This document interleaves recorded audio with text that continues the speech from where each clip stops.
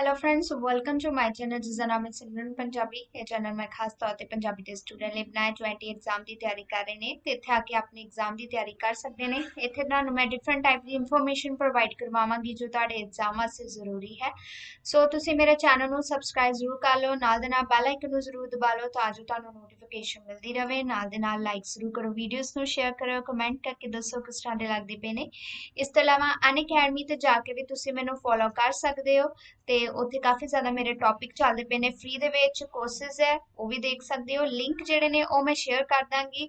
ਆਪਣੇ message box ਦੇ ਵਿੱਚ ਜ਼ਰੂਰ ਚੈੱਕ ਕਰਿਆ ਕਰੋ, ਜਿਹੜੇ ਮੇਰੇ ਕਮਿਊਨਿਟੀ ਦੇ ਮੈਸੇਜ ਆਉਂਦੇ ਨੇ।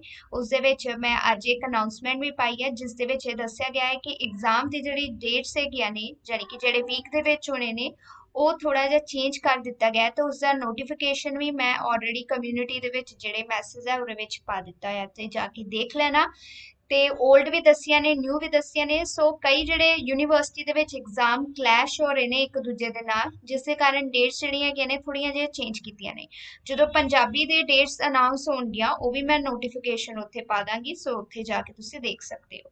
ਸੋ ਟੌਪਿਕ ਸ਼ੁਰੂ ਕਰਦੇ ਹਾਂ। ਅੱਜ ਦਾ ਜਿਹੜਾ ਸਾਡਾ ਟੌਪਿਕ ਹੈਗਾ ਹੈ ਅੱਜ ਅਸੀਂ ਭਾਸ਼ਾ ਦੀ ਵੰਡ ਤੇ ਵਰਗੀਕਰਨ ਬਾਰੇ ਪੜਾਂਗੇ ਠੀਕ ਹੈ? ਜਿਹਦੇ ਵਿੱਚ ਸਾਡੇ ਕੋਲ ਭਾਸ਼ਾ ਪਰਿਵਾਰ ਜਿਹੜੇ ਆਇੰਦੇ ਗਏ ਨੇ ਉਹ ਵਾਲੇ। ਠੀਕ ਹੈ? ਸੋ ਮਨੁੱਖੀ ਭਾਸ਼ਾ ਦੇ ਸੰਬੰਧ ਵਿੱਚ ਜਿਹੜਾ ਤੱਤ ਸਭ ਤੋਂ ਉੱਭਰ ਕੇ ਸਾਹਮਣੇ ਆਉਂਦਾ ਹੈ, ਉਹ ਹੈ ਵਿਸ਼ਵ ਦੇ ਵੱਖ-ਵੱਖ ਭਾਗਾਂ ਵਿੱਚ ਬੋਲੀਆਂ ਜਾਣ ਵਾਲੀਆਂ ਬੋਲੀਆਂ ਦੀ ਅਨੇਕਤਾ ਤੇ ਵੰਸਵੰਨਤਾ ਤੇ ਵਿਵਧਤਾ। ਯਾਨੀ ਕਿ ਜਦੋਂ ਅਸੀਂ ਮਨੁੱਖ ਦੇ ਭਾਸ਼ਾ ਦੀ ਗੱਲ ਕਰਦੇ ਹਾਂ, ਤਾਂ ਸਭ ਤੋਂ ਪਹਿਲਾਂ ਸਾਡੇ ਦਿਮਾਗ ਦੇ ਵਿੱਚ ਇਹ ਆਉਂਦਾ ਕਿ ਸਾਡੇ ਇੱਥੇ ਤਾਂ ਚਲੋ ਪੰਜਾਬੀ ਬੋਲੀ ਜਾਂਦੀ ਹੈ, ਬਾਕੀ ਜਿਹੜੇ ਦੇਸ਼ਾਂ ਦੇ ਵਿੱਚ ਚਲ ਜਾਓ, ਤਾਂ ਉੱਥੇ ਵੀ ਹਰ ਇੱਕ ਦੀ ਆਪਣੀ ਵੱਖਰੀ ਬੋਲੀ ਹੋਏਗੀ। ਸੋ ਇਹੋ ਹੀ ਸਾਡੀ ਭਾਸ਼ਾ ਦੀ ਇੱਕ ਇੱਕ ਵੱਖਰਤਾ ਆ ਜਾਂਦੀ ਹੈਗੀ ਹੈ ਕਿ ਸਾਡੇ ਇੱਥੇ ਬਹੁਤ ਸਾਰੀਆਂ ਭਾਸ਼ਾਵਾਂ ਮਿਲਦੀਆਂ ਨੇ। ਉਹਨਾਂ ਵਿੱਚ ਅਨੇਕਤਾ ਹੈ ਵੰਸਵੰਤਾ ਹੈਗੀ ਹੈ। ਚਾਹੇ ਇੱਕ ਦੇਸ਼ ਦੇ ਵਿੱਚ ਗੱਲ ਕਰੀਏ ਜਾਂ ਫਿਰ ਇੱਕ ਕਹਿ ਸਕਦੇ ਹੋ ਰਾਜ ਦੇ ਵਿੱਚ ਉਸ ਦੀਆਂ ਉਪ ਬੋਲੀਆਂ ਕੋ ਆ ਜਾਂਦੀਆਂ ਨੇ। ਇੱਕ ਅਨੁਮਾਨ ਦੇ ਮੁਤਾਬਿਕ ਵਿਸ਼ਵ ਦੇ ਵਿੱਚ ਲਗਭਗ 4000 ਭਾਸ਼ਾਵਾਂ ਜਿਹੜੀਆਂ ਬੋਲੀਆਂ ਜਾਂਦੀਆਂ ਨੇ ਉਪ ਭਾਸ਼ਾਵਾਂ ਦੀ ਗਿਣਤੀ ਹੋਰ ਵੀ ਵਧੇਗੀ ਹੈ। ਹੁਣ ਦੇਖੋ, ਪੰਜਾਬੀ ਹੈ ਉਸ ਦੇ ਵਿੱਚ ਕਿੰਨੀਆਂ ਅੱਗੋਂ ਆ ਜਾਂਦੀਆਂ ਨੇ? ਇਸ ਤੋਂ ਇਲਾਵਾ ਹੋਰ ਵੀ ਇਸੇ ਤਰ੍ਹਾਂ ਕਲਚਰ ਹੈਗੇ ਨੇ ਜਿਨ੍ਹਾਂ ਦੀ ਅੱਗੋਂ ਉਪਭਾਸ਼ਾਵਾਂ ਆ ਜਾਂਦੀਆਂ ਨੇ। ਹਰ ਇੱਕ ਭਾਸ਼ਾ ਦੇ ਆਪਣੇ ਹੀ ਧੁਨੀ ਪੈਟਰਨ ਹੁੰਦੇ ਨੇ ਜਿਹੜੇ ਕਿ ਦੂਜਿਆਂ ਨਾਲੋਂ ਅਲੱਗ ਹੋਣਗੇ। ਹਿੰਦੀ ਦੇ ਦੇਖ ਲਓ, ਅਲੱਗ ਹੈ, ਪੰਜਾਬੀ ਦੇ ਨਾਲੋਂ। ਤੇ ਆਪਣੇ ਹੀ ਉਹਨਾਂ ਦੇ ਰੂਪਾਤਮਕ ਵਿਧਾਨ ਨੇ। ਯਾਨੀ ਕਿ ਉਹਨਾਂ ਦੇ ਰੂਪ ਜਿਵੇਂ ਹੈਗੇ ਨੇ, ਧੁਨੀਆਂ ਦੇ ਰੂਪ ਜਾਂ ਦੂਸਰੇ ਸ਼ਬਦਾਂ ਦੇ ਰੂਪ, ਉਹ ਵੀ ਅਲੱਗ ਹੈਗੇ ਨੇ। ਤੇ ਆਪਣੇ ਹੀ ਵਾਕਾਤਮਕ ਨਿਯਮ ਨੇ, ਨਿਯਮ ਹੈਗੇ ਨੇ ਵਾਕਾਂ ਦੇ ਅਲੱਗ-ਅਲੱਗ। ਜਿਵੇਂ ਹੁਣ ਦੇਖੋ ਇੰਗਲਿਸ਼ ਦਾ ਨਿਯਮ, ਪੰਜਾਬੀ ਦੇ ਨਿਯਮ ਨਾਲੋਂ ਅਲੱਗ ਆ ਜਾਂਦਾ ਹੈਗਾ ਠੀਕ ਹੈ? ਸੋ ਇਸ ਸੰਬੰਧ ਵਿੱਚ ਗਲੀਸਨ ਜਿਹੜੇ ਸੀ, ਉਹਨਾਂ ਦਾ ਮਤ ਹੈ ਕਿ ਵਿਸ਼ਵ ਵਿੱਚ ਬੋਲੀਆਂ ਇੰਨੀਆਂ ਜ਼ਿਆਦਾ ਹਨ ਕਿ ਕਿਸੇ ਨਾ ਕਿਸੇ ਤਰ੍ਹਾਂ ਦੇ ਵਰਗੀਕਰਨ ਤੋਂ ਬਗੈਰ ਸਮੁੱਚੀ ਸਮੱਗਰੀ ਨੂੰ ਸਿਸਟਮਬੰਦ ਨਹੀਂ ਕੀਤਾ ਜਾ ਸਕਦਾ। ਜਿਵੇਂ ਕਿ ਇਹਨਾਂ ਨੂੰ ਜਿੰਨੀ ਦੇਰ ਤੱਕ ਅਸੀਂ ਕਿਸੇ ਵਰਗੀਕਰਨ ਦੇ ਵਿੱਚ ਨਹੀਂ ਰੱਖ ਸਕਦੇ, ਉਨੀ ਦੇਰ ਤੱਕ ਇਹ ਖਿਲਰੀਆਂ ਰਹਿਣਗੀਆਂ ਤੇ ਅਸੀਂ ਇਸ ਨੂੰ ਚੰਗੀ ਤਰ੍ਹਾਂ ਸਮਝ ਵੀ ਨਹੀਂ ਪਾਵਾਂਗੇ। ਭਾਸ਼ਾ ਦੇ ਵਰਗੀਕਰਨ ਸੰਬੰਧੀ ਦੋ ਤਰ੍ਹਾਂ ਦੀਆਂ ਵਿਧੀਆਂ ਜਿਹੜੀਆਂ ਪ੍ਰਚਲਿਤ ਹੈਗੀਆਂ ਨੇ, ਇੱਕ ਆਏਗੀ ਸਾਡੇ ਕੋਲ ਸੰਰਚਨਾਤਮਕ ਵਰਗੀਕਰਨ ਦੀ ਵਿਧੀ ਦੂਸਰੀ ਆਂਦੀ ਹੈ ਜਨਨਿਕ ਵਰਗੀਕਰਨ ਦੀ ਵਿਧੀ। ਕੁਝ ਹੋਰ ਭਾਸ਼ਾ ਵਿਗਿਆਨੀਆਂ ਜਿਵੇਂ ਲੇਹਮਾਨ, ਲੂਈ ਗ੍ਰੇ ਤੇ ਥਿਓਰਡਾ ਬਾਈਨਨ ਆਦਿ ਨੇ ਵੀ ਇਸ ਵਰਗੀਕਰਨ ਦੇ ਕੁਝ ਹੋਰ ਢੰਗ ਸੁਝਾਏ ਹਨ, ਪਰੰਤੂ ਉਹਨਾਂ ਬਾਰੇ ਆਮ ਸਹਿਮਤੀ ਨਹੀਂ ਬਣੀ। ਸੋ ਭਾਸ਼ਾ ਦਾ ਜਦੋਂ ਵਰਗੀਕਰਨ ਕਰਨਾ ਹੋਵੇ ਨਾ, ਤੇ ਉਸ ਦੇ ਵਾਸਤੇ ਉਹਨਾਂ ਨੇ ਦੋ ਵਿਧੀਆਂ ਦੱਸੀਆਂ ਨੇ। ਇੱਕ ਆਂਦੀ ਹੈ ਸੰਰਚਨਾਤਮਕ ਸੈਕਿੰਡ ਆਂਦੀ ਸਾਡੇ ਕੋ ਜਨਨਿਕ। ਹੋਰ ਵੀ ਬਾਕੀ ਵਿਦਵਾਨ ਨੇ ਜਿਨ੍ਹਾਂ ਨੇ ਅਲੱਗ-ਅਲੱਗ ਤਰ੍ਹਾਂ ਦੀਆਂ ਦੱਸੀਆਂ ਆਈਆਂ ਨੇ ਤੇ ਹੋਰ ਉਹਨਾਂ ਦੇ ਵਿੱਚ ਪਰ ਕੀ ਰਵਾ ਕਿ ਜਿਵੇਂ ਕਹਿ ਸਕਦੇ ਇੱਕ ਮਤ ਦੂਸਰੇ ਮਤ ਦੇ ਨਾਲ ਨਹੀਂ ਰਲਦਾ, ਸੋ ਇਹਨਾਂ ਦੇ ਵਿੱਚ ਵੀ ਥੋੜੇ ਬਹੁਤੇ ਅੰਤਰ ਪਾਏ ਜਾਂਦੇ ਨੇ।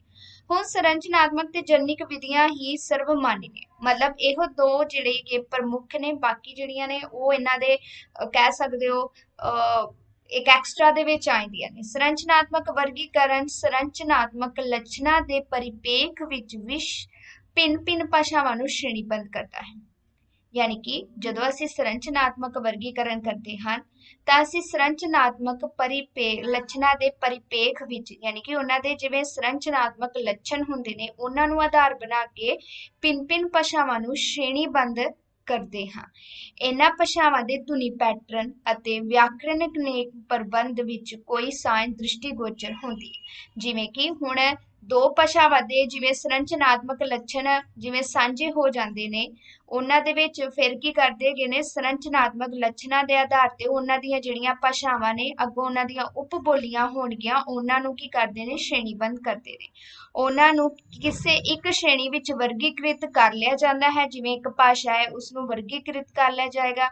ਉਹਨਾਂ ਦੇ ਪ੍ਰਜਨਨਾਤਮਕ ਕਿਸ ਤਰ੍ਹਾਂ ਉਹ ਪੈਦਾ ਹੋਈਆਂ, ਕਿਵੇਂ ਨਿਕਲੀਆਂ ਨੇ, ਆਧਾਰ ਸੰਕਲਪ ਇੱਕ ਅਜਿਹਾ ਸਿਸਟਮ ਹੈ, ਜਿਹੜਾ ਜਨਨਾਤਮਕ ਸੰਬੰਧ ਸੰਸਥਾਪਨਾ ਦੀ ਦ੍ਰਿਸ਼ਟੀ ਤੋਂ ਵੱਖ-ਵੱਖ ਭਾਸ਼ਾਵਾਂ ਦਾ ਵਰਗੀਕਰਨ ਕਰਦਾ ਹੈ। ਮਤਲਬ ਪ੍ਰਜਨਨਾਤਮਕ ਦੇ ਵਿੱਚ ਅਸੀਂ ਇਹ ਦੇਖਦੇ ਹਾਂ ਕਿ ਹਰ ਇੱਕ ਭਾਸ਼ਾ ਜਿਹੜੀ ਹੈ ਕਿਸ ਤਰ੍ਹਾਂ ਜਨਮੀ ਸੀ, ਠੀਕ ਹੈ?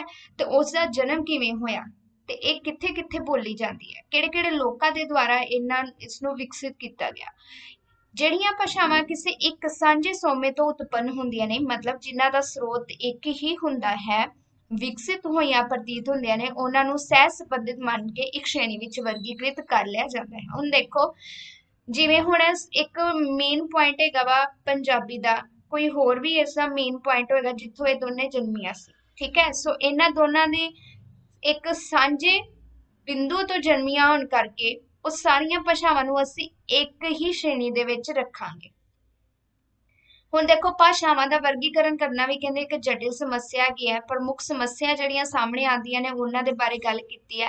ਪਹਿਲੀ ਸਮੱਸਿਆ ਹੈ ਕਿ ਭਾਸ਼ਾ ਵਿਗਿਆਨੀ ਗਿਣਤੀ ਦੀਆਂ ਕੁਝ ਪ੍ਰਮੁੱਖ ਭਾਸ਼ਾਵਾਂ ਨੂੰ ਹੀ ਸਾਹਮਣੇ ਰੱਖ ਕੇ ਵਰਗੀਕਰਨ ਦੇ ਕਾਰਜ ਨੂੰ ਸਰੰਜਾਮ ਦੇ ਦਿੰਦੇ ਨੇ। ਮਤਲਬ ਕੋਈ ਮੇਨ ਮੇਨ ਭਾਸ਼ਾਵਾਂ ਜਿਹੜੀਆਂ ਹੁੰਦੀਆਂ ਨੇ, ਉਹਨਾਂ ਨੂੰ ਸਿਰਫ ਚੁਣਦੇ ਨੇ ਤਾਂ ਉਹਨਾਂ ਦੇ ਆਧਾਰ ਤੇ ਹੀ ਵਰਗੀਕਰਨ ਦਾ ਕਾਰਜ ਕਰਦੇ ਨੇ। ਪੂਰਵ ਨਿਸ਼ਚਿਤ ਧਾਰਾਵਾਂ ਅਨੁਸਾਰ ਕਿਸੇ ਭਾਸ਼ਾ ਵਿਸ਼ੇਸ਼ ਨੂੰ ਸ਼੍ਰੇਣੀਬੰਦ ਕਰ ਦੇਣਾ ਉਚਿਤ ਨਹੀਂ ਹੈ। ਕਈ ਵਾਰ ਇੱਕ ਹੀ ਭਾਸ਼ਾ ਦੋ ਸ਼੍ਰੇਣੀਆਂ ਦੇ ਨਾਲ ਸੰਬੰਧਿਤ ਹੁੰਦੀ ਹੈ। ਹੁਣ ਇਹ ਨਹੀਂ ਹੈਗਾ ਕਿ ਕਿਸੇ ਇੱਕ ਭਾਸ਼ਾ ਨੂੰ ਫੜ ਲਿਆ ਤੇ ਉਸ ਨੂੰ ਉਸੇ ਸ਼੍ਰੇਣੀ ਦੇ ਵਿੱਚ ਕੀ ਗਵਾ ਰੱਖ ਦਿੱਤਾ। ਕਈ ਵਾਰ ਇਹ ਵੀ ਹੁੰਦਾ ਹੈ ਕਿ ਭਾਸ਼ਾ, ਉਹ ਭਾਸ਼ਾ ਕਿਸੇ ਹੋਰ ਸ਼੍ਰੇਣੀ ਦੇ ਨਾਲ ਵੀ ਸੰਬੰਧਿਤ ਹੁੰਦੀ ਹੈ। ਸੋ ਕੀ ਗਾ, ਅਸੀਂ ਧਿਆਨ ਦੇ ਨਾਲ ਪਹਿਲਾਂ ਦੋਨਾਂ ਨੂੰ ਦੇਖੀਏ, ਫਿਰ ਉਹਨਾਂ ਨੂੰ ਸ਼੍ਰੇਣੀ ਦੇ ਵਿੱਚ ਰੱਖੀਏ। ਭਾਸ਼ਾਵਾਂ ਦੇ ਚਰਿੱਤਰ ਨੂੰ ਦਰਸਾਉਣ ਵਾਲੇ ਪਹਿਲੂਆਂ ਦੀ ਗਿਣਤੀ ਇੰਨੀ ਜ਼ਿਆਦਾ ਹੈ ਕਿ ਭਾਸ਼ਾਵਾਂ ਦੇ ਵਰਗੀਕਰਨ ਵਾਸਤੇ ਕੋਈ ਸਰਬ ਸਾਂਝਾ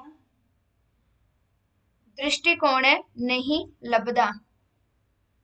ਯਾਨੀ ਕਿ ਭਾਸ਼ਾਵਾਂ ਜਿਹੜਾ ਚਰਿੱਤਰ ਹੁੰਦਾ ਹੈ, ਉਹਨੂੰ ਦਰਸਾਉਣ ਵਾਲੇ ਜਿਹੜੇ ਪਹਿਲੂ ਹੁੰਦੇ ਨੇ, ਉਹ ਇੰਨੀ ਜ਼ਿਆਦਾ ਗਿਣਤੀ ਦੇ ਵਿੱਚ ਹੁੰਦੇ ਨੇ ਕਿ ਭਾਸ਼ਾਵਾਂ ਦੇ ਵਰਗੀਕਰਨ ਵਾਸਤੇ ਕੋਈ ਸਰਬ ਸਾਂਝਾ ਦ੍ਰਿਸ਼ਟੀਕੋਣ ਨਹੀਂ ਹੁੰਦਾ। ਹੁਣ ਦੇਖੋ, ਸਭ ਤੋਂ ਪਹਿਲਾਂ ਇਹਨਾਂ ਨੇ ਗੱਲ ਕੀਤੀ ਹੈ ਕਿ ਜਿਹੜੀ ਭਾਸ਼ਾ ਹੁੰਦੀ ਹੈ ਉਹਨਾਂ ਨੂੰ ਕੀ ਕਰਨਾ ਉਹਨਾਂ ਨੇ ਕਿ ਮੇਨ ਮੇਨ ਇਹ ਨਹੀਂ ਹੈਗਾ ਕਿ ਜਿਹੜੀ ਮੇਨ ਭਾਸ਼ਾ ਹੈਗੀ ਆ ਜਸਟ ਉਹਨੂੰ ਹੀ ਫਟਾਫਟ ਤੁਸੀਂ ਰੱਖ ਲਓ। ਹਜੇ ਹੋਰ ਚੀਜ਼ਾਂ ਉਸ ਦੇ ਬਾਰੇ ਦੇਖੋ, ਫਿਰ ਉਸ ਭਾਸ਼ਾ ਨੂੰ ਵਰਗੀਕਰਨ ਦੇ ਵਿੱਚ ਰੱਖੋ। ਦੂਸਰਾ ਇਹਨਾਂ ਨੇ ਇਹ ਦੱਸਿਆ ਹੈ ਕਿ ਇਹ ਨਹੀਂ ਹੈਗਾ ਕਿ ਕਿਸੇ ਭਾਸ਼ਾ ਵਿਸ਼ੇਸ਼ ਨੂੰ ਹੀ ਸ਼੍ਰੇਣੀਬੰਦ ਕਰਨਾ ਚਾਹੀਦਾ ਹੈ। ਉਸ ਦੀਆਂ ਮਤਲਬ ਇਹ ਨਹੀਂਗਾ ਕਿ ਜਿਹੜੀ ਭਾਸ਼ਾ ਤੁਸੀਂ ਚੁਣੀ ਹੈਗੀ ਹੈ ਉਸ ਨੂੰ ਫਟਾਫਟ ਇੱਕੋ ਸ਼੍ਰੇਣੀ ਦੇ ਵਿੱਚ ਰੱਖ ਦਿਓ। ਜ਼ਰੂਰੀ ਨਹੀਂ ਹੋ ਸਕਦਾ ਉਹ ਕਿਸੇ ਹੋਰ ਸ਼੍ਰੇਣੀ ਦੇ ਨਾਲ ਵੀ ਸੰਬੰਧਿਤ ਹੋਵੇ, ਉਸ ਨੂੰ ਉਸ ਦੇ ਵਿੱਚ ਵੀ ਰੱਖਣਾ ਪਵੇ। ਫਿਰ ਜੇ ਬਾਅਦ ਦੇ ਵਿੱਚ ਇਹ ਤੁਸੀਂ ਇੱਕ ਵਰਗੀਕਰਨ ਦੇ ਵਿੱਚ ਰੱਖ ਲਿਆ, ਦੂਜੇ ਦੇ ਵਿੱਚ ਨਾ ਰੱਖਿਆ, ਤੇ ਫਿਰ ਬਾਅਦ ਦੇ ਵਿੱਚ ਸੋਚੀ ਪੈ ਜਾਂਦੀ ਹੈ ਇਸ ਚੀਜ਼ ਦੇ ਉੱਤੇ ਵੀ। ਫਿਰ ਭਾਸ਼ਾ ਦੇ ਚਿੱਤਰ ਨੂੰ ਦਰਸਾਉਣ ਵਾਲੇ ਪਹਿਲੂ ਇੰਨਾ ਜ਼ਿਆਦਾ ਹੋ ਜਾਂਦੇ ਨੇ ਕਿ ਉਹਨਾਂ ਦੇ ਵਿੱਚੋਂ ਸਾਂਝਾ ਤੱਤ ਜਿਹੜਾ ਲੱਭਣਾ ਹੈ, ਉਹ ਔਖਾ ਹੋ ਜਾਂਦਾ ਹੈ। ਹੁਣ ਦੇਖੋ ਇੱਕੋ ਜਿਹੜੀ ਕਿ ਬਿੰਦੂ ਤੋਂ ਜਨਮੀਆਂ ਭਾਸ਼ਾਵਾਂ ਨੇ। ਉਹਨਾਂ ਦੇ ਵਿੱਚ ਅਸੀਂ ਇੰਨੇ ਜ਼ਿਆਦਾ ਉਹਨਾਂ ਦੇ ਪਹਿਲੂ ਹੋ ਜਾਂਦੇ ਨੇ ਕਿ ਦੋਨਾਂ ਦੇ ਵਿੱਚ ਇੱਕ ਮੇਨ ਤੱਤ ਲੱਭਣਾ ਸਾਡੇ ਵਾਸਤੇ ਔਖਾ ਹੋ ਜਾਂਦਾ ਹੈ। ਹਰ ਭਾਸ਼ਾ ਵਿਗਿਆਨੀ ਦੀ ਆਪਣੀ ਆਪਣੀਆਂ ਤਰਜੀਹਾਂ ਹੁੰਦੀਆਂ ਨੇ ਤੇ ਆਪਣੇ ਆਪਣੇ ਪੂਰਵਗ੍ਰਹਿ ਹੁੰਦੇ ਨੇ। ਮਤਲਬ ਹਰ ਇੱਕ ਜਿਵੇਂ ਅਸੀਂ ਰਾਈਟਰ ਪੜ੍ਹਦੇ ਆ ਹਰ ਇੱਕ ਦਾ ਆਪਣਾ ਇੱਕ ਇੱਕ ਕਹਿ ਸਕਦੇ ਹੋ ਵਿਚਾਰ ਹੁੰਦੇ ਨੇ ਕਿੱਥੋਂ ਜਨਮੇ ਨੇ। ਤੇ ਇਹ ਉਹ ਇਹਨਾਂ ਤੋਂ ਮੁਕਤ ਹੋਣ ਦਾ ਪ੍ਰਯਾਸ ਨਹੀਂ ਕਰਦੇ। ਉਹ ਕਦੀ ਵੀ ਇਹ ਨਹੀਂ ਸੋਚਦੇ ਹੈਗੇ ਕਿ ਅਸੀਂ ਇਸ ਨੂੰ ਅਲੱਗ ਕਰਕੇ ਦੇਖੀਏ ਕੁਝ ਹੋਰ ਵੀ ਸੋਚੀਏ, ਉਹ ਉੱਥੇ ਪੱਕੇ ਰਹਿੰਦੇ ਬਈ ਜੋ ਅਸੀਂ ਗੱਲ ਕਹਤੀ, ਉਹ ਸਹੀ ਹੈਗੀ ਹੈ ਇਹਨਾਂ ਸਮੱਸਿਆ ਦੇ ਬਾਵਜੂਦ ਭਾਸ਼ਾ ਵਿਗਿਆਨੀਆਂ ਨੇ ਵਿਸ਼ਵ ਭਾਸ਼ਾਵਾਂ ਦੇ ਸਮੂਹ ਨੂੰ ਸ਼੍ਰੇਣੀਬੰਦ ਕਰਨ ਦਾ ਵੀ ਉਦਮ ਜਾਰੀ ਰੱਖਿਆ। ਕਿ ਇਹਨਾਂ ਸਮੱਸਿਆ ਦੇ ਬਾਵਜੂਦ ਵੀ ਜਿਹੜੇ ਭਾਸ਼ਾ ਵਿਗਿਆਨੀ ਸੀ, ਉਹਨਾਂ ਨੇ ਜਿੰਨੀਆਂ ਵੀ ਭਾਸ਼ਾਵਾਂ ਹੈ ਉਹਨਾਂ ਨੂੰ ਸ਼੍ਰੇਣੀਬੰਦ ਕਰਨ ਦਾ ਇੱਕ ਉਦਮ ਜਾਰੀ ਰੱਖਿਆ ਸੀ। ਇਸ ਵਰਗੀਕਰਨ ਵਾਸਤੇ ਕਲੀਸਰ ਨੇ ਕੁਝ ਕਸੋਟੀਆਂ ਵੀ ਸੁਝਾਈਆਂ ਨੇ, ਜਿਵੇਂ ਪਰਸਪਰ ਸੁਬੱਧਤਾ ਫਿਰ ਭਾਸ਼ਿਕ ਤੱਤ ਉਹਨਾਂ ਦੇ ਸਾਂਝੇ ਤੇ ਸਮ ਭਾਸ਼ਾ ਰੇਖਾਵਾਂ ਆਦਿ। ਹੁਣ ਅਸੀਂ ਗੱਲ ਕਰਦੇ ਹਾਂ ਸੰਰਚਨਾਤਮਕ ਵਰਗੀਕਰਨ ਦੇ ਬਾਰੇ। ਇਸ ਵਰਗੀਕਰਨ ਅਨੁਸਾਰ ਕੀ ਅੰਦਰ ਧੁਨੀ ਪ੍ਰਬੰਧ ਦੇ ਆਧਾਰ ਤੇ ਪ੍ਰਵਰਗ ਨਿਸ਼ਚਿਤ ਕਰ ਲਏ ਜਾਂਦੇ ਨੇ ਤੇ ਧੁਨੀਆਤਮਕ ਵਿਸ਼ਲੇਸ਼ਣ ਨੂੰ ਆਧਾਰ ਬਣਾ ਕੇ ਵਰਗੀਕਰਨ ਕੀਤਾ ਜਾਂਦਾ ਹੈ। ਇਸ ਪ੍ਰਸੰਗ ਵਿੱਚ ਸਵਰਾਂ ਦੀ ਵਿਉਂਤਬੰਦੀ ਤੇ ਗਿਣਤੀ ਮੂਲਕ ਵਿਵਸਥਾ ਨੂੰ ਆਧਾਰ ਬਣਾਇਆ ਜਾਂਦਾ ਹੈ। ਵਿਸ਼ਵ ਦੀਆਂ ਬਹੁਤ ਸਾਰੀਆਂ ਭਾਸ਼ਾਵਾਂ ਵਿੱਚ 700 7 ਤੋਂ 9 ਸਵਰਾਂ ਤੱਕ ਦਾ ਇੱਕ ਸਿਸਟਮ ਹੈ। ਇਟਾਲੀਅਨ ਵਿੱਚ 7 ਸਵਰ ਤੁਰਕੀ ਵਿੱਚ 8 ਸਵਰ, ਅੰਗਰੇਜ਼ੀ ਦੇ ਵਿੱਚ 9 ਸਵਰ ਤੇ ਹਿੰਦੀ ਵਿੱਚ 10 ਸਵਰਾਂ ਦਾ ਸਿਸਟਮ ਹੈ। ਤੇ ਇਸੇ ਤਰੀਕੇ ਨਾਲ ਪੰਜਾਬੀ ਦੇ ਵਿੱਚ ਵੀ 10 ਸਵਰਾਂ ਦਾ ਸਿਸਟਮ ਦੱਸਿਆ ਗਿਆ ਹੈ। ਹੁਣ ਉਹਨਾਂ ਨੇ ਇੱਥੇ ਮੇਨ ਕੀ ਦੱਸਿਆ ਹੈ? ਜਿਹੜੀਆਂ ਸਾਡੀਆਂ ਧੁਨੀ ਪ੍ਰਬੰਧ ਹੁੰਦਾ ਹੈ। ਉਸ ਦੇ ਆਧਾਰ ਤੇ ਪ੍ਰਵਰਗ ਨਿਸ਼ਚਿਤ ਕਰ ਲਏ ਜਾਂਦੇ ਹੁਣ ਤੁਸੀਂ ਦੇਖੋ, ਪ੍ਰਵਰਗ ਕੀ ਹੋਣਗੇ ਸਾਰਿਆਂ ਨੇ ਸੋਚੀ ਪੈਣਾਗਾ ਹੁਣ ਜਿਨ੍ਹਾਂ ਦਿਮਾਗ ਚੱਲ ਗਿਆ, ਉਹਨੇ ਸੋਚ ਲਿਆ। ਜਿਵੇਂ ਹੁਣ ਦੇਖੋ, ਪੰਜਾਬੀ ਦੇ ਵਿੱਚ ਪ੍ਰਵਰਗ ਕਿਹੜੇ ਮਿਲਦੇ ਨੇ? ਕਵਰਗ, ਠੀਕ ਹੈ?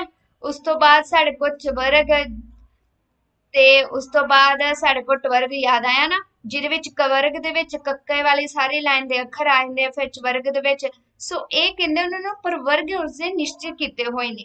ਫਿਰ ਧੁਨੀਆਤਮਕ ਵਿਸ਼ਲੇਸ਼ਣ ਨੂੰ ਆਧਾਰ ਬਣਾ ਕੇ ਇਹਨਾਂ ਦਾ ਵਰਗੀਕਰਨ ਕੀਤਾ ਜਾਂਦਾ ਹੈ।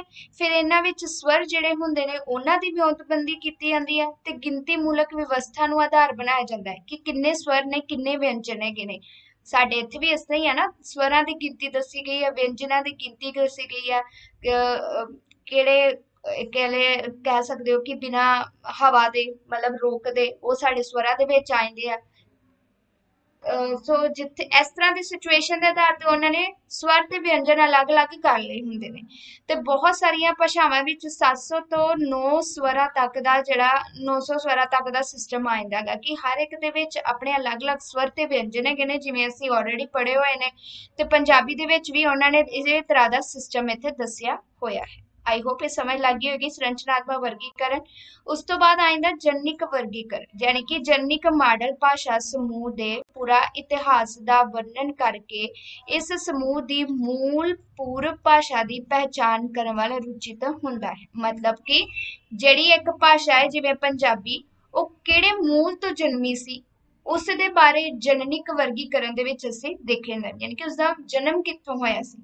ਭਾਵੇਂ ਕਈ ਮੂਲ ਪੂਰਬ ਭਾਸ਼ਾਵਾਂ ਦੇ ਲਿਖਤੀ ਪਾਠ ਵੀ ਉਪਲਬਧ ਹੁੰਦੇ ਹਨ, ਪਰ ਵਧੇਰੇ ਕਰਕੇ ਬਹੁਤ ਸਾਰੇ ਭਾਸ਼ਾਗਤ ਇਤਿਹਾਸ ਦੀ ਉਨਰਸਾਰੀ ਕਰਨੀ ਪੈਂਦੀ ਹੈ।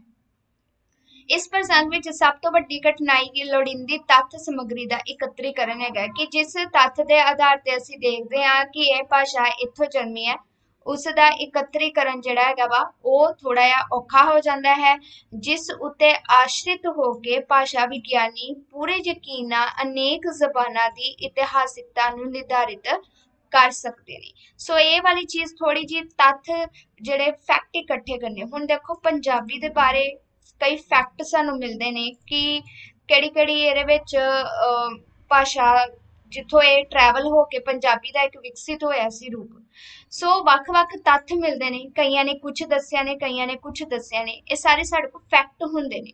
ਤੇ ਇਹਨਾਂ ਦੇ ਆਧਾਰ ਤੇ ਹੀ ਅਸੀਂ ਜਿਹੜੀ ਸਮੱਗਰੀ ਇਕੱਤਰੀਕਰਨ ਕਰਦੇ ਨੇ ਤੇ ਕਈ ਜਿਹੜੇ ਭਾਸ਼ਾ ਵਿਗਿਆਨੀ ਹੁੰਦੇ ਨੇ, ਪੂਰੇ ਯਕੀਨ ਦੇ ਨਾਲ ਅਨੇਕਾਂ ਜ਼ਬਾਨਾਂ ਦੀ ਇਤਿਹਾਸਿਕਤਾ, ਅਨੇਕਾਂ ਜ਼ਬਾਨ ਮਤਲਬ ਅਨੇਕਾਂ ਭਾਸ਼ਾ ਦੀ ਜਿਹੜੀ ਇਤਿਹਾਸਿਕਤਾ ਨੂੰ ਨਿਰਧਾਰਿਤ ਕਰਦੇ ਨੇ ਕਿ ਇਹ ਭਾਸ਼ਾ ਇੱਥੋਂ ਜਨਮੀ ਸੀ, ਹਿੰਦੀ ਦੀ ਭਾਸ਼ਾ ਦਾ ਜਨਮ ਇੱਥੋਂ ਹੋਇਆ ਸੀ, ਇਹ ਇੱਥੋਂ ਹੋਇਆ ਸੀ। ਤੇ ਕਈ ਵਾਰ ਇਉਂ ਵੀ ਹੁੰਦਾ ਹੈ ਕਿ ਜਨਨਿਕ ਤੌਰ ਤੇ ਸਾਂਝੀਆਂ ਭਾਸ਼ਾਵਾਂ ਟਾਈਪੋਲੋਜੀ ਤੇ ਪੱਖੋਂ ਇੱਕ ਸਮਾਨ ਨਹੀਂ ਹੁੰਦੀਆਂ। ਜਿਵੇਂ ਅੰਗਰੇਜ਼ੀ, ਪੰਜਾਬੀ ਤੇ ਰੂਸੀ। ਇਹ ਸਾਰੀ ਭਾਵੇਂ ਪ੍ਰੋਟੋ ਇੰਡੋ ਯੂਰਪੀਅਨ ਭਾਸ਼ਾਵਾਂ ਮੰਨੀਆਂ ਜਾਂਦੀਆਂ ਨੇ, ਪਰੰਤੂ ਇਹਨਾਂ ਦਾ ਜਨਨਿਕ ਰਿਸ਼ਤਾ ਬਹੁਤ ਹੀ ਦੂਰਵਰਤੀ ਹੈ। ਮਤਲਬ ਮੂਲ ਇਹਨਾਂ ਦਾ ਇੱਕ ਹੈ ਪਰ ਟੋਪੋਲੋਜੀ ਟਾਈਪੋਲੋਜੀ ਦੇ ਆਧਾਰ ਤੇ ਇਹ ਅਲੱਗ-ਅਲੱਗ ਹੈ। ਹੁਣ ਤੁਸੀਂ ਪੰਜਾਬੀ ਦਾ ਸਟਰਕਚਰ ਵੇਖੋ। ਵਰਡ ਅਲੱਗ ਨੇ, ਅੰਗਰੇਜ਼ੀ ਦਾ ਵਰਡ ਅਲੱਗ ਨੇ, ਰੂਸੀ ਵਰਡ ਅਲੱਗ ਨੇ। ਮਤਲਬ ਜਨਮੀਆਂ ਇੱਕੋ ਤੋਂ ਹੈਗੀਆਂ ਨੇ, ਪਰ ਰਿਸ਼ਤਾ ਇਹਨਾਂ ਦਾ ਕੀ ਆਂਦਾ ਦੂਰ ਦਾ। ਭਾਸ਼ਾਵਾਂ ਦੇ ਵਰਗੀਕਰਨ ਨਾਲ ਸੰਬੰਧਿਤ ਪਰਿਵਾਰ ਦਾ ਸੰਕਲਪ ਇੱਕ ਜੀਵੰਤ ਹੋਣ ਨੂੰ ਦਰਸਾਉਂਦਾ ਹੈ।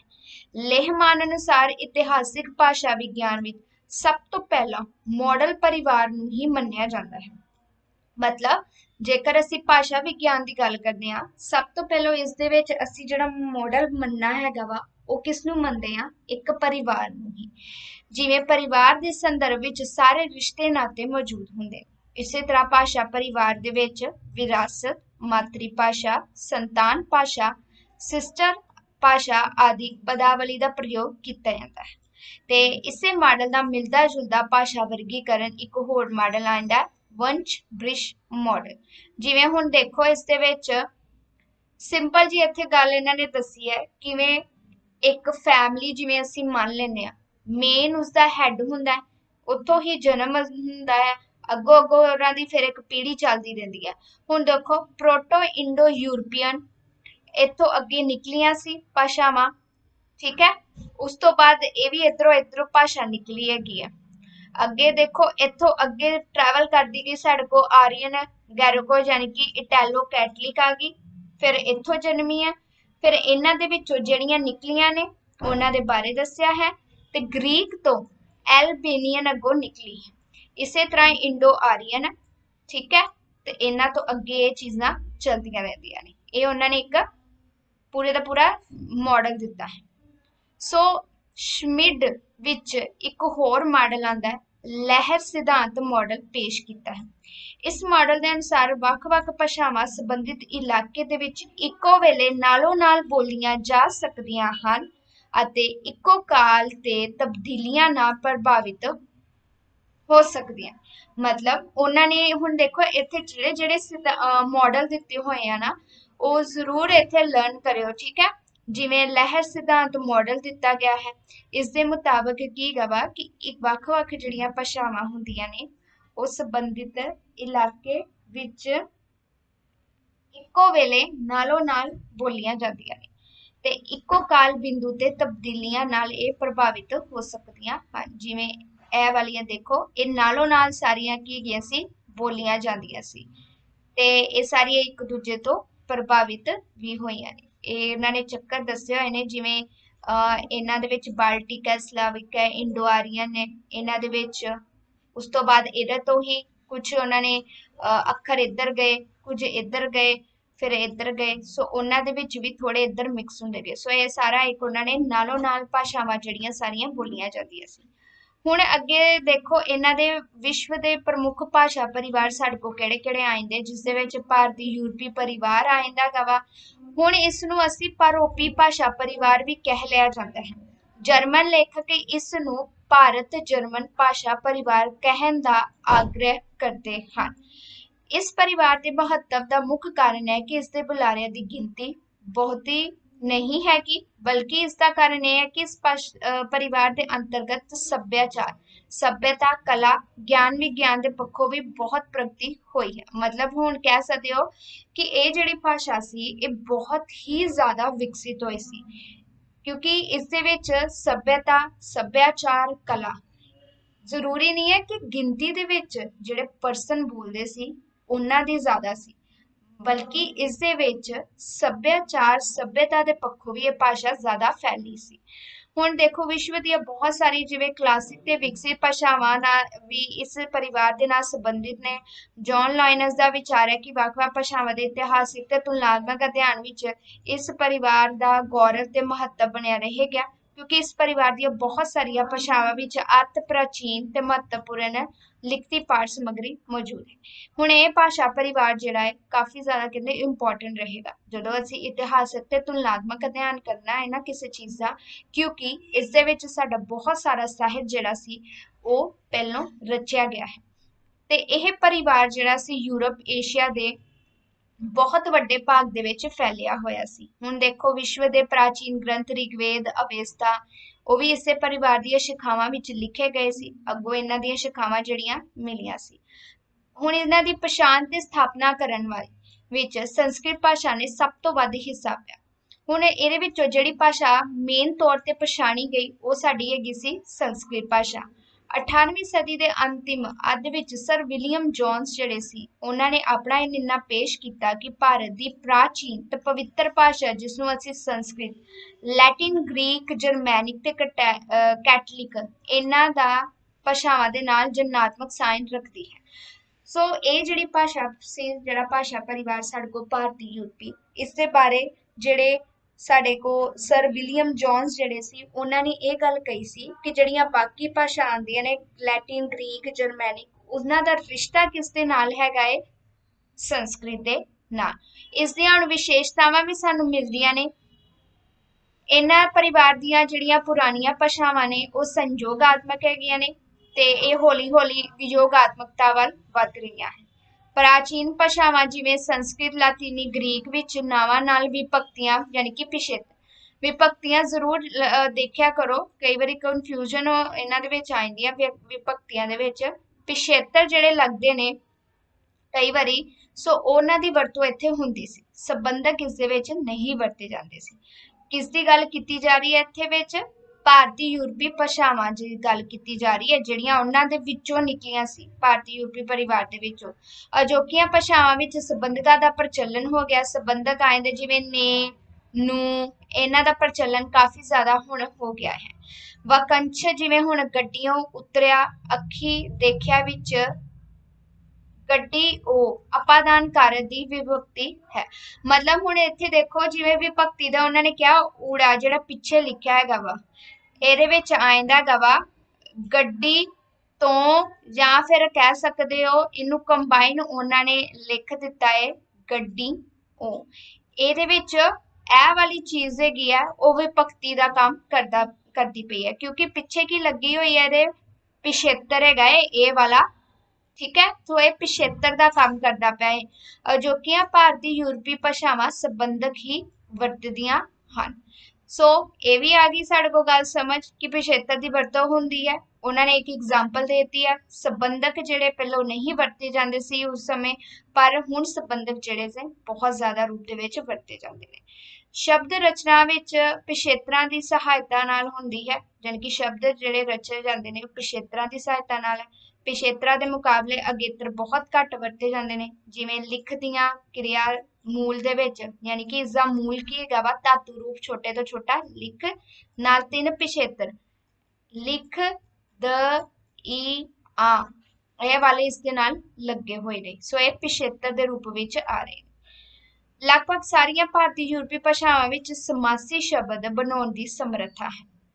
ਜਿੰਨੇ ਵੀ ਭਾਰਤੀ ਯੂਰਪੀ ਭਾਸ਼ਾ ਪਰਿਵਾਰ ਦੀਆਂ ਭਾਸ਼ਾਵਾਂ ਸੀ, ਉਹਨਾਂ ਵਿੱਚ ਸਮਾਸੀ ਸ਼ਬਦ ਵਰਤੇ ਜਾਂਦੇ ਸੀ, ਜਿਵੇਂ ਹੱਥ ਘੜੀ, ਜਿਹੜੇ ਦੋ ਵਰਡਾਂ ਨੂੰ ਕੰਬਾਈਨ ਕਰਕੇ ਇੱਕ ਵਰਡ ਬਣ ਜਾਂਦਾ ਹੈ, ਜਿਵੇਂ ਕਮਰ ਕਸ, ਤੀਰ ਅੰਦਾਜ਼ ਆਦਿ। ਪੁਰਾਣੀਆਂ ਭਾਸ਼ਾਵਾਂ ਵਿੱਚ ਵਾਕਾਂ ਵਿੱਚ ਸ਼ਬਦਾਂ ਦੇ ਸਥਾਨ ਦੀ ਵਿਸ਼ੇਸ਼ ਮਹੱਤਤਾ ਸੀ।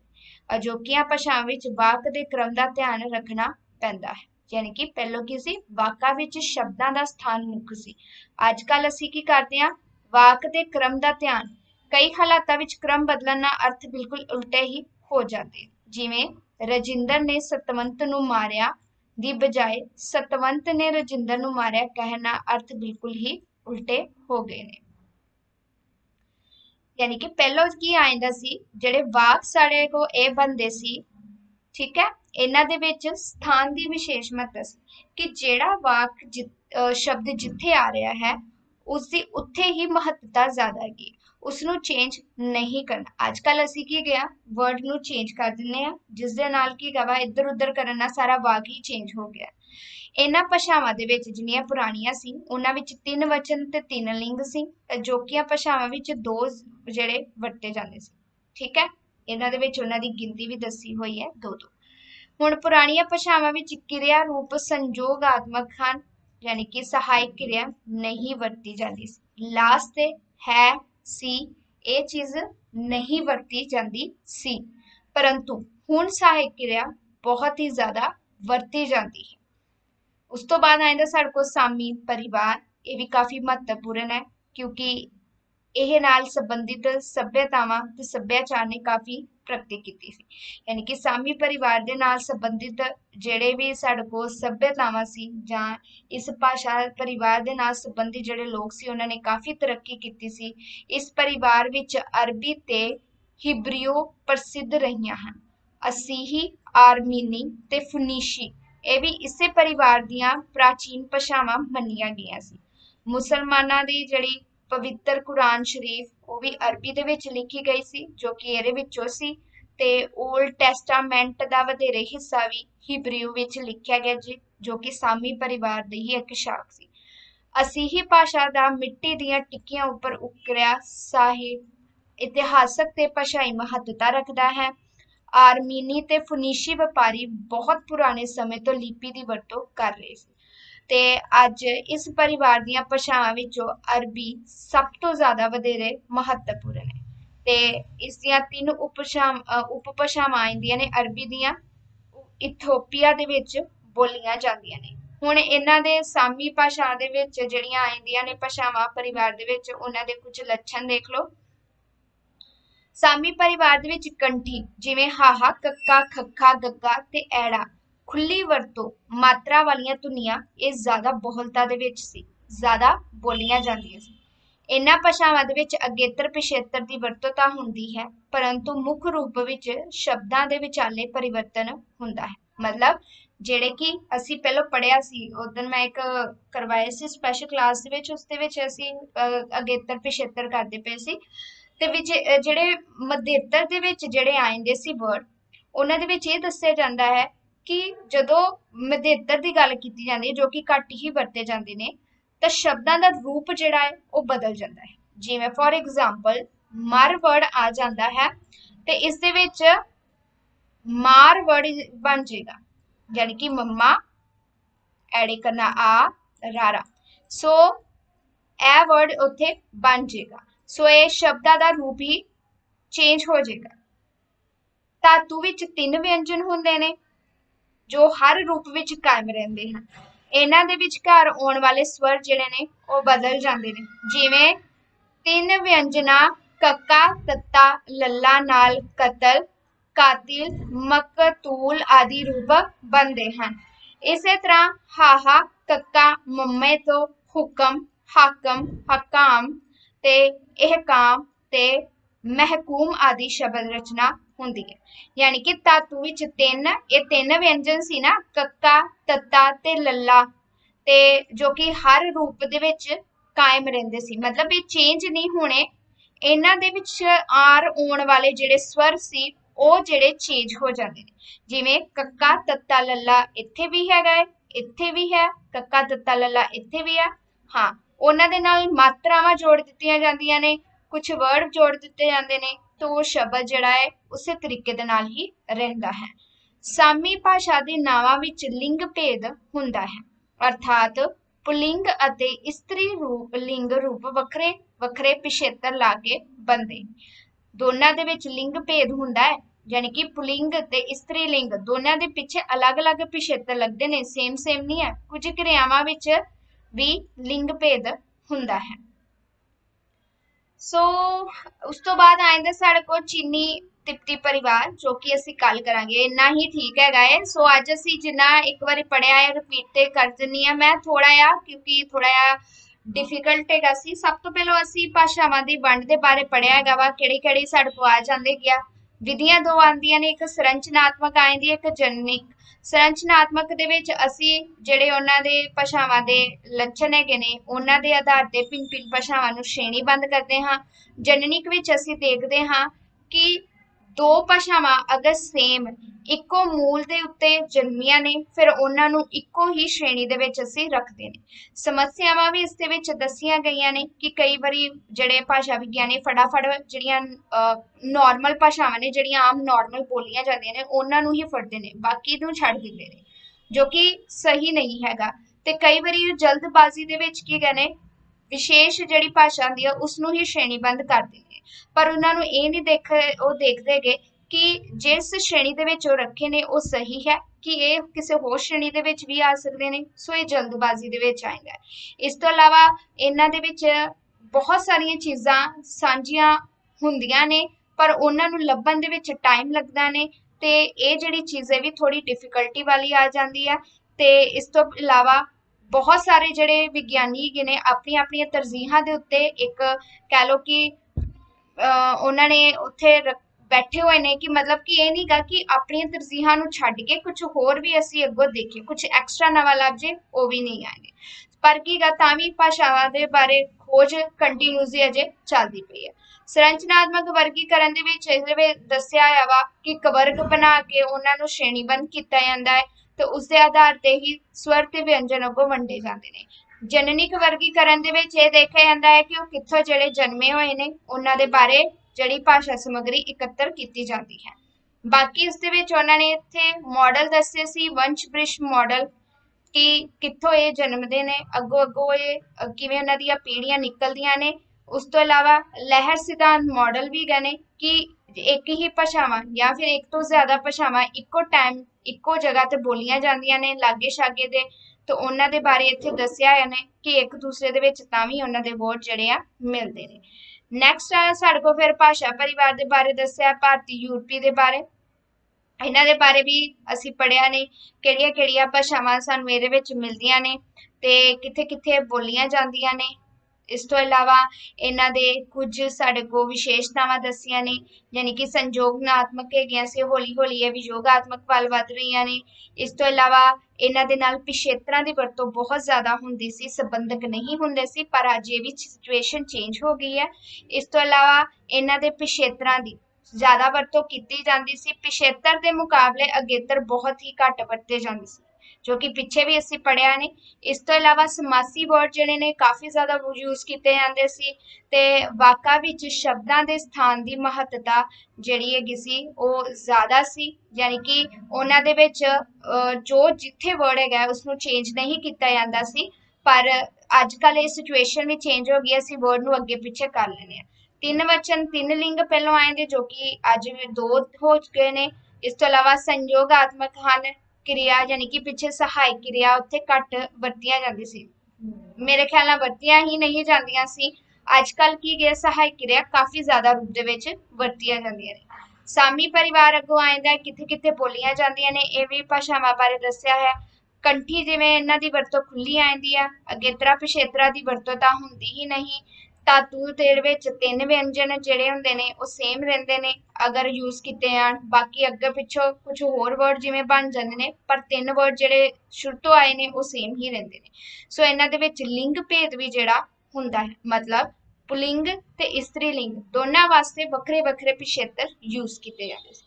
ਸੋ ਆਈ ਹੋਪ ਅੱਜ ਦਾ ਜਿਹੜਾ ਲੈਸਨ ਤੁਹਾਨੂੰ ਵਧੀਆ ਲੱਗਿਆ ਹੋਵੇਗਾ। ਬਾਕੀ ਅਨ ਅਕੈਡਮੀ ਤੇ ਜ਼ਰੂਰ ਦੇਖਿਓ ਵੀਡੀਓਜ਼ ਤੇ ਜਿੰਨੇ ਵੀ ਲਿੰਕ ਹੋਣਗੇ ਫ੍ਰੀ ਕਲਾਸ ਦੇ, ਉਹ ਮੈਂ ਨਾਲ ਦੇ ਨਾਲ ਪੋਸਟ ਕਰਦੀ ਜਾਵਾਂਗੀ ਆਪਣੀ ਕਮਿਊਨਿਟੀ ਦੇ ਵਿੱਚ ਜ਼ਰੂਰ ਮੈਸੇਜ ਦੇਖਣਾ। Thank you